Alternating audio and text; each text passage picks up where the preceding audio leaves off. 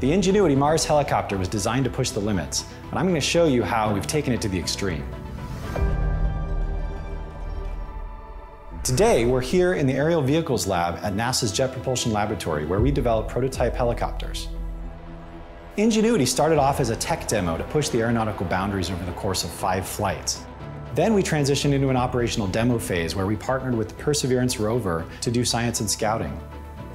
But about a year ago, when the Perseverance rover started racing up the Jezero Crater Delta, we actually found that we had to work pretty hard to stay ahead of the rover. We decided it was time to shift gears again, once again pushing the boundaries of Martian flight. This campaign really began in earnest with Flight 49, where we simultaneously set new speed and altitude records.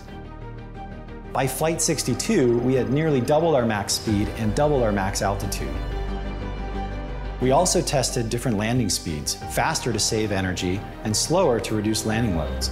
Both of these strategies may be used on future helicopters. We performed a type of flight testing called system identification, this is a crucial but risky procedure that helps us understand the vehicle's performance by how it responds. Our team also devised new ways to target the high-resolution camera, which allows us to provide advanced reconnaissance imaging for the rover.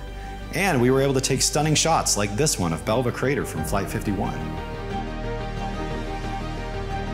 In addition, Ingenuity conducted several first-of-their-kind experiments on Martian wind and dust movement, which gave us new insight into the Martian atmosphere. What we've learned will help us design the next generation of Martian rotorcraft. We're testing more efficient blades.